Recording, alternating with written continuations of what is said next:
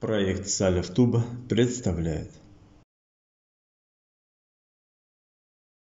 الحمد لله رب العالمين والصلاة والسلام على نبينا محمد وعلى آله وأصحابه أجمعين وبعد Продолжаем читать книгу Мухаммада ибн Абдул Вахаба, рахимахуллах, Китабу Таухид, книга Единобожия. Мы дошли до главы Бабу Дуа или Шахадати Ан Ла Иляха Аллах.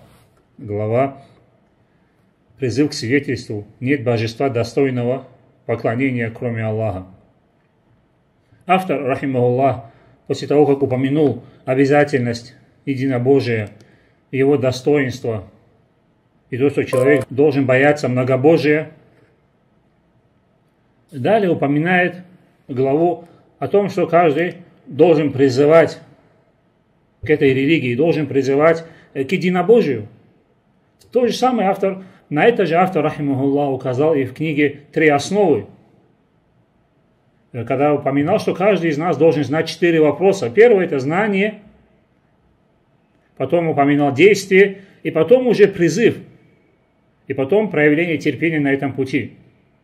И то же самое тут автор указывает на то, что человек должен, после того, как познал истину, должен делиться этой истиной, должен призывать людей к этой религии, религии Аллаха Субханаху Ва Тааля.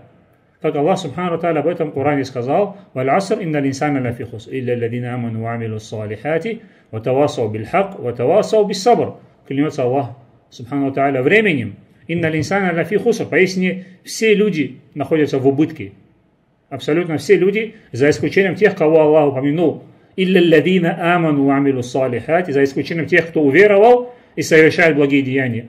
«Ватавасау бильхак, ватавасау бисабр». И завещали друг другу истину, и завещали друг другу терпение. То есть человек, когда в первую очередь он должен спасать себя, в первую очередь он должен, конечно, заботиться о себе. И если он познал истину, Аллах Субханаху Ва раскрыл его сердце, указал ему на истину, и он начал совершать благие деяния, то он не должен ограничиваться и останавливаться на этом, должен также призывать и других людей к этому.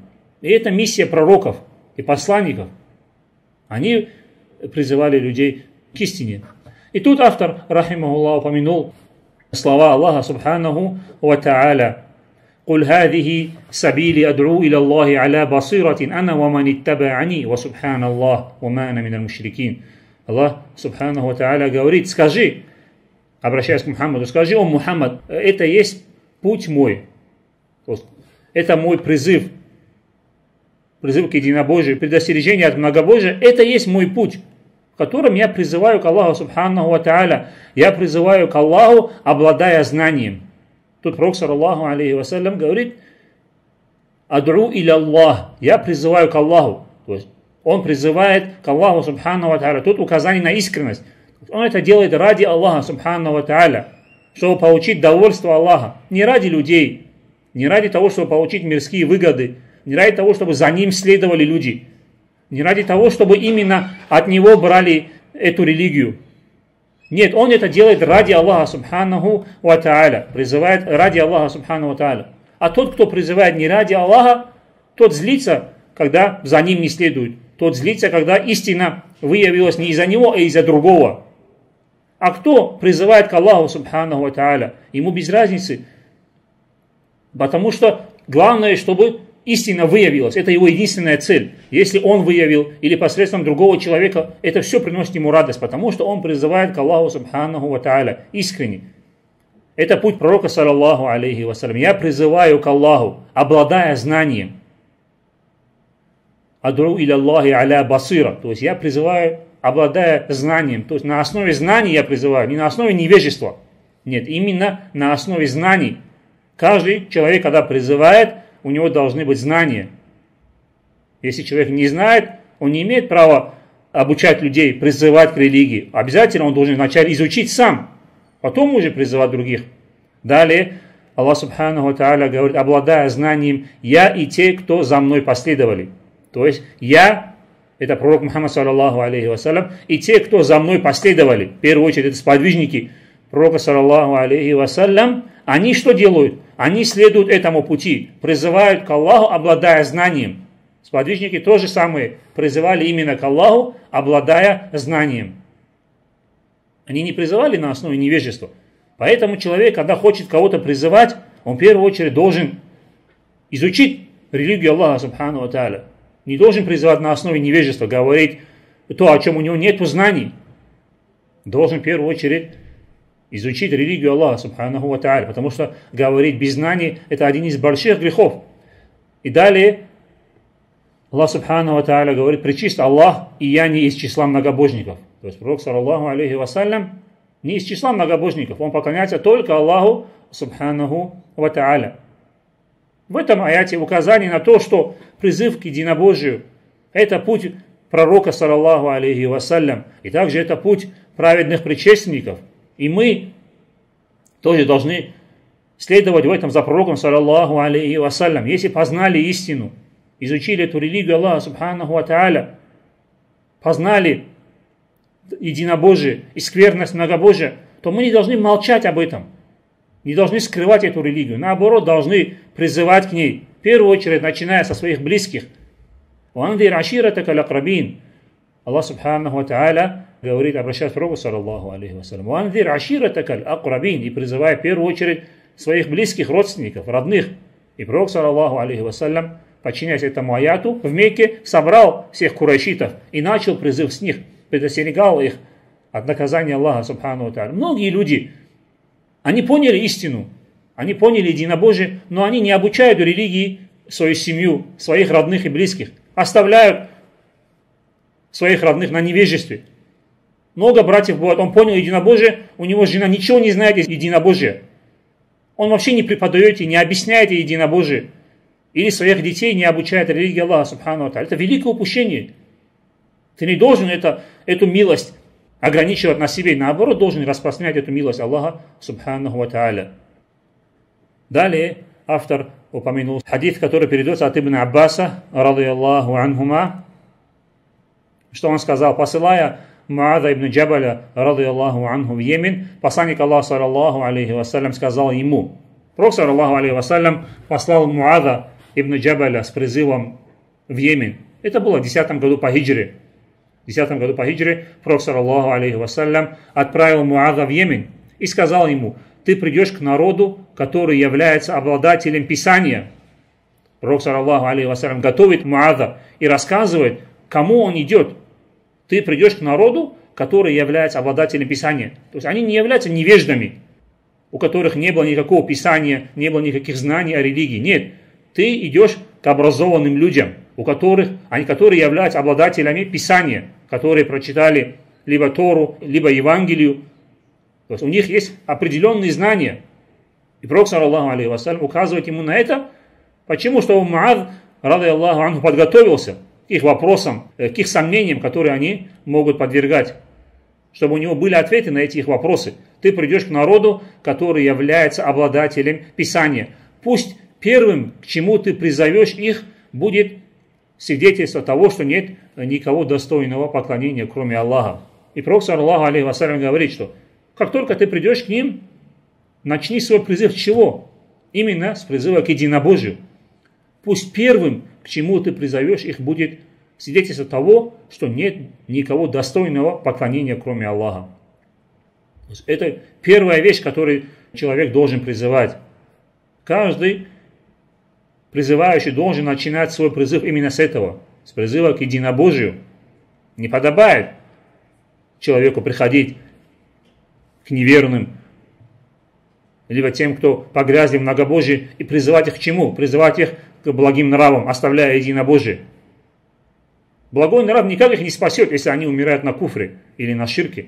Поэтому в первую очередь нужно свой призыв начинать именно с единобожия. И тут Пророк, саллаху алейhi говорит, пусть первым, к чему ты призовешь их, будет свидетельство того, что нет никого достойного поклонения, кроме Аллаха. В другом риваяте э, приходит, что Пророк, саллаху алейhi сказал, فَلْيَكُنْ أَوَّلَ مَا تَدْعُهُمْ إِلَيْهِ إِلَّا أَنْ يُوَحِّدُ اللَّهِ чтобы они только Аллаху поклонялись. И в этих словах Пророка, саллаху алейхи вассалям, есть для нас разъяснение слов «Ля илляха илля как мы это уже много раз повторяли.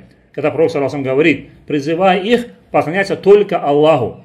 В этом указаний на смысл слов «ля иляха илlallah», что именно «ля иляха илlallah» означает «нет Бога достойного для поклонения, кроме Аллаха». Что именно вопрос поклонения, а не так, как говорят ашариты, что «ля иляха илlallah» нет Творца иного, кроме Аллаха. Не с этим смыслом приходили пророки. И тут в этом хадисе пророк, саллаху алейхи вассалям, также указал на это, чтобы он призывал именно, чтобы они только Аллаху поклонялись.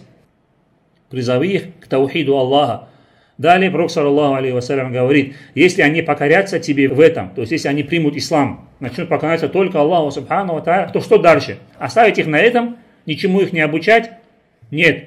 То дай им знать, что Аллах обязал их совершать ежесуточно пять намазов. То если они приняли ислам, то второе, с чего мы начинаем, это призыв к молитве. Это второй столб ислама. Нужно призывать совершать пять молитв. Если они приняли ислам, то человек обучает их уже молитвам.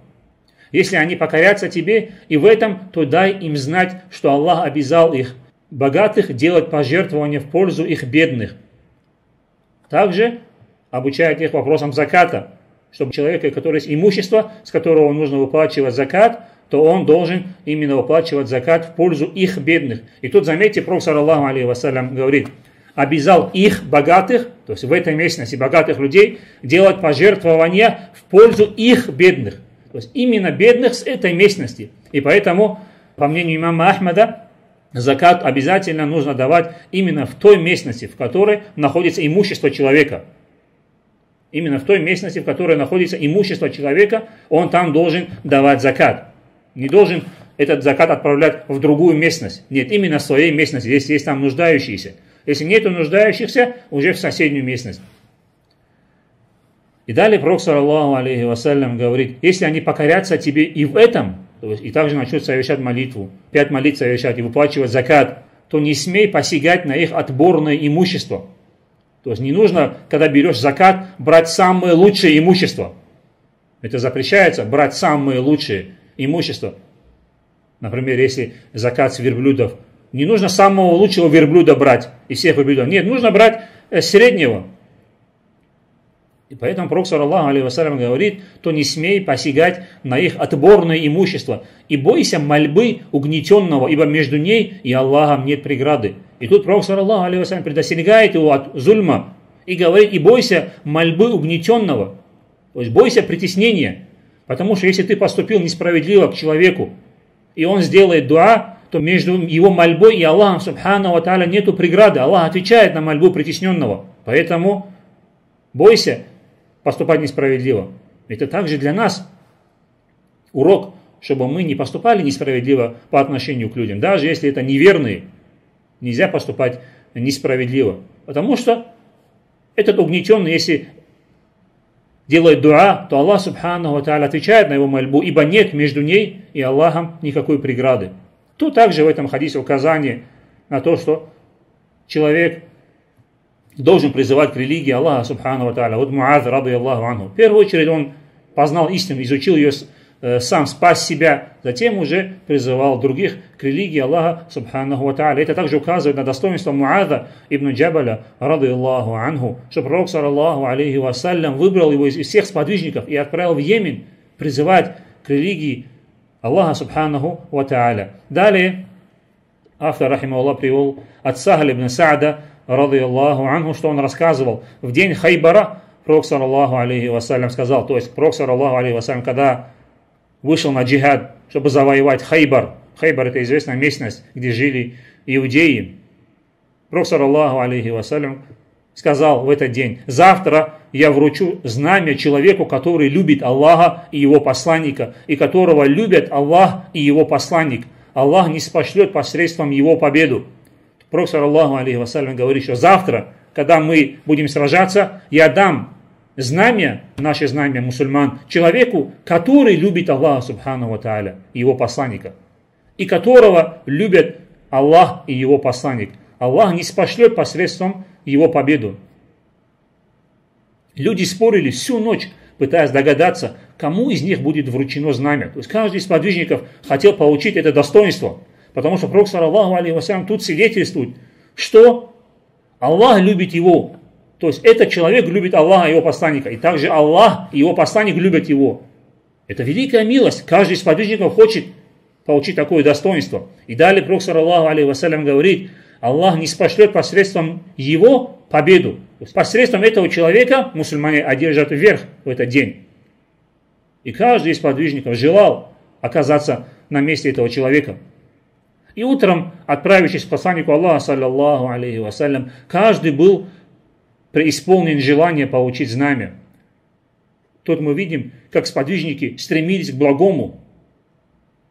Пророк, саллаллаху алейхи вассалям, когда их чему-то побуждал, они все стремились. И тут посмотрите, Пророк, саллаллаху алейхи вассалям, сказал, что завтра получит знамя такой человек. Они все уже всю ночь думали об этом, спорили, кто из них получит, и на утро отправились к пророку, саллаху алейхи вассалям, желая получить это знамя. То есть это, в этом для нас урок, что мы также должны стремиться к благому, не должны оставаться в стороне. Если мы знаем, что какое-то дело является благим, то мы должны в первую очередь совершать его, опережать наших братьев. В этом нужно именно соревноваться, в совершении благих дел, как соревновались Абу Бакр, Умар. Кто из них лучшее благое дело, и кто из них больше совершит благое дело – в этом нужно именно нам соревноваться. Пророк, саллаху алейхи вассалям, сказал, где Али ибн Аби Талиб? Ему ответили, он жалуется на воспаление глаз. То есть у Али, рады Аллаху анху, болели глаза. И он не пришел к пророку, саллаху алейхи вассалям. Он вышел на эту битву, Хайбар, но он на утро не подошел к пророку, саллаху алейхи вассалям, потому что не мог сам выйти и подойти к пророку, саллаху алейхи вассалям. И пророк, саллаху алейхи вассалям, за ним послал, и когда Али прибыл, пророк поплевал ему в глаза, а затем взмолился за него Аллаху. То есть пророк, саллаху алейhi поплевал ему в глаза и сделал дуа, чтобы Аллах излечил его. Али тут же исцелился, как будто ничем и не болел. В этом указание на чудеса пророка, саллаху алейхи вассалям, что таким образом Али, рады Аллаху анху, исцелился. Далее пророк, саллаху алейхи вассалям, вручил ему знамя и сказал, иди со спокойствием, пока не достигнешь их территории. Затем призови их к исламу и сообщи им то, что они обязаны в отношении прав Всевышнего Аллаха. Клянусь Аллахом, если Аллах наставит посредством тебя хотя бы одного человека на путь истины, то это будет для тебя лучше, чем красные верблюды. Этот хадис передал Бухари и Муслим. Пророк, саллаху алейхи вассалям, кому вручил это знамя? Он вручил его Али ибн Аби Талибу, рады Аллаху анху. И далее Пророк, саллаху алейхи вассалям, сказал ему, иди со спокойствием, то есть не спеша, иди не спеша, со спокойствием, пока не достигнешь их территории. Затем, как ты достигнешь их территории, призови их к исламу. В первую очередь, начинать нужно свой призыв именно с единобожия, призови их к исламу, к свидетельству, и сообщи им то, что они обязаны в отношении прав Всевышнего Аллаха. То есть, если ты призываешь их к исламу, также и сообщи им, что они обязаны будут совершать если примут ислам. Не хватает просто произнести шагаду. Есть также другие обязательства, которые человек обязан совершать. Сообщи им то, что они обязаны в отношении прав Всевышнего Аллаха. И далее Пророк, саллаху алейхи вассалям, пробуждая его максимально стараться призыве к Аллаху, субхану говорить, клянусь Аллахом, если Аллах наставит посредством тебя хотя бы одного человека на путь истины, то это будет для тебя лучше, чем красные верблюды. Красные верблюды это самое ценное имущество арабов на тот момент. То есть, если даже одного человека посредством тебя Аллах Субхану Аталя приведет в ислам, то это лучше, чем эти красные верблюды, которые так ценились у арабов. Потому что великая милость посредством тебя, если Аллах Субханаху Ва Тааля э, приведет человека в ислам. Любое благое дело, которое он будет совершать, ты будешь за это также э, получать награду. Да, в этом хадисе побуждение для нас призывать к Аллаху Субханаху Ва Тааля. Потому что уготована такая большая милость. Это лучше, чем красные верблюды. Поэтому каждый из нас должен стараться обучать людей религии Аллаха Субхану Ва Тааля. Своим нравам, своим хорошим отношениям своим поведением, также и словами, и действиями. Всем человек должен призывать к религии Аллаха, субхану та'аля, чтобы неверующие его видели и уже понимали, вспоминали Аллаха, субханаху ва та'аля. Настолько должен человек э, стараться призывать к религии Аллаха, субханаху ва та'аля. И в этом хадисе явное достоинство Али ибн Аби Талиба, рады Аллаху анху, что Пророк, саллаху алейхи вассалям, засвидетельствовал, что он любит Аллаха и его посланника. И также Аллах и его посланник любят его. И тут автор, рахималлах, далее упоминает рассматриваемые вопросы, то есть пользы, которые он извлек. Призыв к Аллаху – это путь тех, кто последовал за посланником Аллаха, да благословит его Аллах и приветствует. Эта польза извлечена из аята, где Аллах Субхану Тааля говорит, «Куль хадихи сабили адру иля Аллах, аля басира ана ва манитабаани». Я и те, кто за мной последовали, призываем к Аллаху, обладая знанием. То есть это путь пророка, саллаллаху алейхи вассалям, и также наших праведных предшественников. Обращается внимание на искренность, ибо многие люди, призывая к истине, делают это ради собственных интересов. Это откуда он извлек? Из слов «Адру или Аллах», призываю к Аллаху. В этом указание на искренность. Потому что многие люди, призывая к истине, делают это ради собственных интересов. То есть многие люди призывают не к религии Аллаха, а он призывает к себе, чтобы за ним последовали. Поэтому он злится, если следует не за ним, а за другим даже если тот другой тоже на истине. Его охватывает зависть, потому что он не искренне призывает к Аллаху, субханаху. Знание является одним из обязательных предписаний в призыве. Это также из аята «Адру Аллах аля басира» на основе знаний призываю, как Аллах Субхану Тааля сказал. То есть человек не должен призывать, если он невежда. Если он ничего не знает из религии, чему он может обучать? Если у него нет знаний, то он должен говорить, я не знаю, не должен умничать. Мне кажется так, я думаю так, наверное, это вот так. Я слышал, кажется, это было так, или где-то я прочитал. Нет, если ты не знаешь, то молчи. Не нужно строить какие-то догадки. Одной из безобразных черт ширка является то, что он представляет собой оскорбление Аллаха. Одной из безобразных черт ширка является то, что он представляет собой оскорбление Аллаха. И также из слов Аллаха Субхану Та'аля, «Ва Субхан Аллах», причист Аллах, то есть причист от этого многобожия, от того, что ему предаются товарищи. Одним из важнейших вопросов является свидетельством красоты Таухида, является отдаление всего дурного от Всевышнего Аллаха. Свидетельством красоты, то есть красота Таухида в чем проявляется? В том, что мы отдаляемся от всего дурного. То есть отдаляем все дурное от Всевышнего Аллаха, Субхану Та'аля. Это также из слов Аллаха, «Ва субхан Аллах, причист Аллах, ва ма'ана миналь мушрикин». Я не являюсь многобожником. Это все из, автор извлек из аята. Одним из важнейших вопросов является необходимость отстранения мусульманина от мушриков, чтобы он не заразился ширком, даже в том случае, если он не приобщает к Аллаху ничего и никого. «Ва ма'ана миналь мушрикин». Я не являюсь из числа многобожников. Не хватает, что ты не из числа многобожников. Также ты не должен с ними вместе жить, должен отстраняться от многобожников. Поэтому мусульманину, если он живет среди неверных местностей, где распространен многобожие, желательно переселяться в местность, где живут мусульмане. Желательно когда? Когда он может соблюдать свою религию, но живет среди многобожников. Но если он не может соблюдать свою религию и живет среди многобожников, то ему хиджра является обязательной, потому что он не может соблюдать свою религию. Поэтому человек должен понимать всю опасность того, что он живет среди мушриков. И он должен уделять должное внимание своей религии. Даже если нет возможности сейчас куда-то уехать, и он вынужден жить среди многобожников, то он должен максимальное внимание уделять своей религии, стараться соблюдать ее, потом обучать своих детей, защищать детей от многобожия. Чтобы никто не заразился из его родных и близких, из мусульман, не заразился ширком, должен понимать каждый из нас ответственность особенно проживая в тех местностях, где распространен ширк. Многие люди не придают никакого значения этому. Ему интересна только работа, пришел домой и все. Он никакую опасность не чувствует от того, что он живет среди многобожников, от того, что ширк распространился в его местности. Он не переживает из-за этого, не старается изучать единобожие или обучать детей единобожию. Такой человек находится в опасности. Поэтому каждый должен спасать себя как может. Таухид является первой обязанностью людей. Это из хадисов, где профессор Аллаха Муаду сказал, призывая их к единобожию. Также Алим Набиталеву сказал, что в первую очередь призывай к единобожию. Религия начинается в первую очередь с призыва к таухиду, даже прежде намаза. Это также из хадисов. Потому что в первую очередь профессор Аллаху алейхи сказал призывать именно к единобожию. Смысл слов «призови их к таухиду» Аллаха заключается в свидетельстве «нет божества, кроме Аллаха». И также мы разъяснили, что эти слова указывают на смысл слова «ля иляха илlallah». Человек может принадлежать к обладателям Писания, но не знать этого свидетельства, либо знать, но не действовать в соответствии с ним. То есть человек, даже если он из обладателей Писания, он может не знать смысл слов «ля иляха илlallah».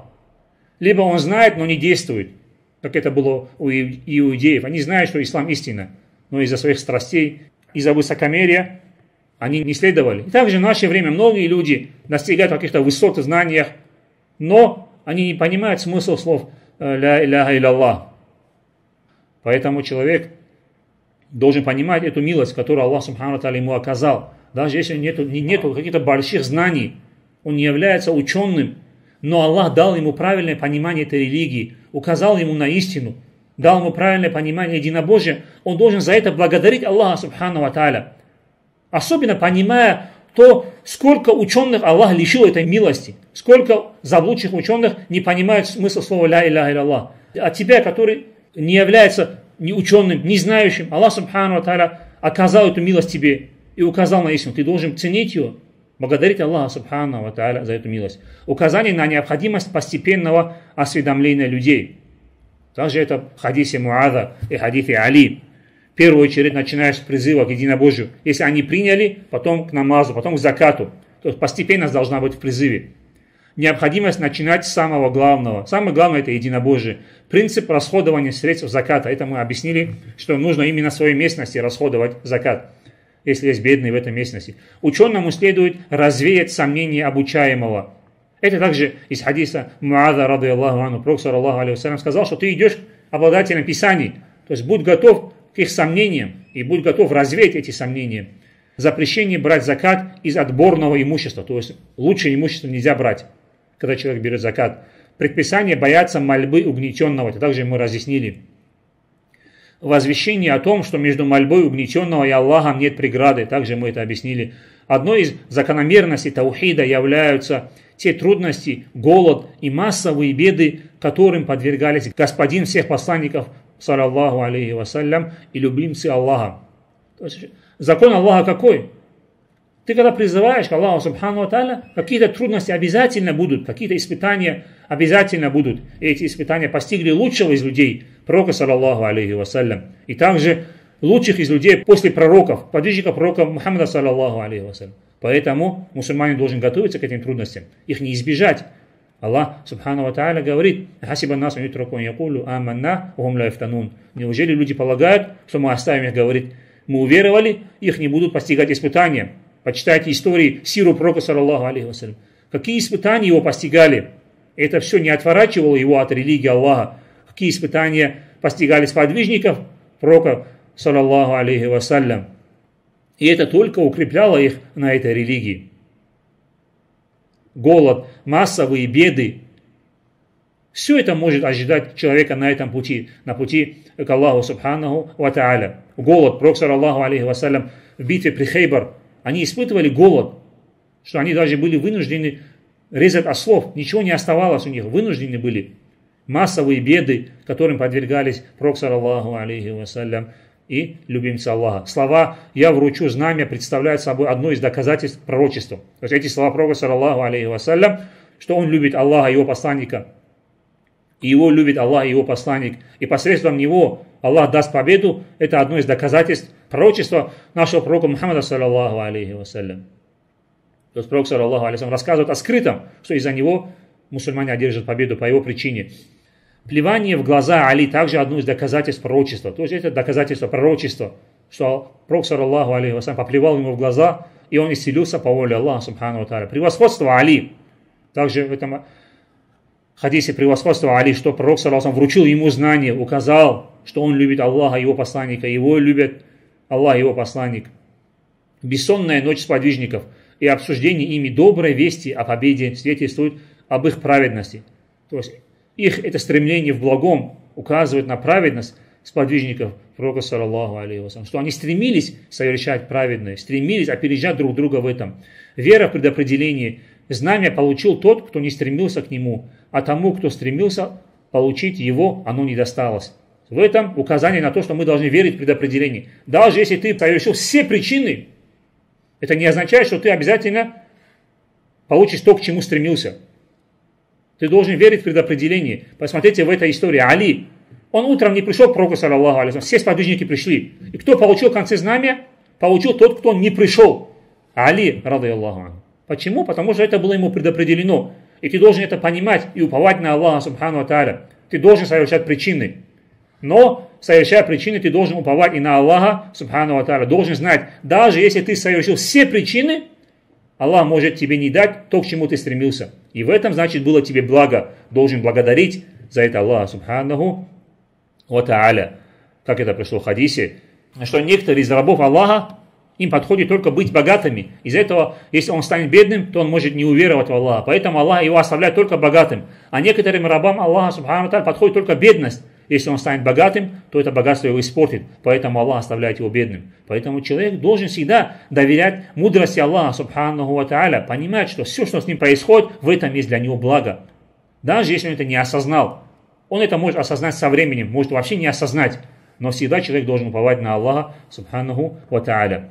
То, что Пророк, саллаллаху алейхи вассалям, учил правилам поведения при джихаде в его словах, иди со спокойствием. То есть Пророк, саллаллаху алейхи вассалям, обучал правилам джихада, что в джихаде тоже есть правила. Не просто убиваем налево-направо. Нет, тут также есть свои правила. И поэтому Пророк, саллаллаху алейхи обучал сподвижникам. Иди со спокойствием. Также приходит в другом хадисе, ухзу бисмиллах, катилю макафара биллах, сражайтесь с именем Аллаха, субхану ва сражайтесь с теми, кто воюет против вас. Также Пророк Аллахом предостерегал от убийств стариков, женщин, детей. У нас везде есть свои правила. Призыв к исламу перед началом боевых действий. То есть перед джихадом, перед сражением нужно призывать неверных к исламу. Необходимость этого даже для тех, кого раньше уже призывали и с кем воевали. То есть даже если ты с этим народом воевал их, и их призывал, то когда хочешь начать сражение в следующий раз, то также призови их к Аллаху Субханаху Ва Та'аля мудрость ведения призыва, так как Пророк, Аллаху алейхи вассалям, сказал, сообщи им то, что они обязаны делать. Это мудрость. То есть ты не оставляй их просто, не призывай их только единобожие произнести слова «Ля илляха илlallah». Также им сообщи, что если они примут ислам, у нас есть обязательства, которые вы должны соблюдать. Чтобы они знали, когда они заходят в ислам, что есть обязательства. Знание прав Аллаха в исламе. Права Аллаха какие? Это то, что нужно только Аллаху Субхану Ва поклоняться. Награда тому, кто наставил на путь истинный хотя бы одного человека. Как это профессор Аллах сказал, что это лучше для тебя, чем красные верблюды. Допустимость клятвы при вынесении фатвы. Профессор Аллаху алейхиссалам, потому что поклялся, клянусь Аллахом, если Аллах наставит одного человека посредством тебя, это лучше для тебя, чем красные верблюды. Это что касается данной главы. Следующая глава шестая глава, смысл таухида и слов ля иляха илlallah. Это, иншаллах, на следующем уроке. В этой главе, которую мы разъяснили, указание на то, что мы должны, каждый из нас должен по мере своих возможностей призывать к религии Аллаха Субхану Та'ala. Не обязан каждый сидеть в мечети, преподавать какие-то уроки. Нет, каждый по мере своих возможностей. Начиная со своей семьи, с родных, близких, соседей, с родителей, с друзей, с коллег по работе. Столько возможностей у человека есть призывать к религии Аллаха Субхану Тааля. И каждый должен по мере своих возможностей ради Аллаха, именно ради Аллаха искренне призывать. Если каждый вот так будет стараться, то, иншаллах, положение наше изменится. Многие, это можно заметить у многих братьев, он сам акиду понял, понял религию, старается сам изучать, но он совсем не обучает свою семью. Прям вообще ничего не преподаете, не рассказываете про ислам. Также детям ничего не рассказывают. Они могут быть абсолютными невеждами. Это большое упущение для, у многих из нас. Многие люди 10, 20, 30 лет в исламе, смотришь, его жена Коран читать не умеет. Ничего, простые вещи из единобожия не понимает. Дети как, простые вопросы единобожия не знают. Такому человеку должно быть стыдно за себя. Что он понял из единобожия? если это его не побудило преподавать дальше, обучать людей. Каждый из нас должен стараться по мере своих возможностей. هذا والله أعلم وصلى الله على نبينا محمد وعلى آله وأصحابه أجمعين. Чтобы не пропускать новые видео, подписывайся на наш канал и нажимай колокольчик. А для тех, кто желает пополнить свою копилку благими делами, оставляйте комментарии, делитесь нашими видео зарабатывайте награду вместе с нами. Посланник Аллаха, да благословит его Аллаха приветствует, сказал, «Указавшему на благое полагается такая же награда, как и совершившему его». Джазакам Аллаху хайран.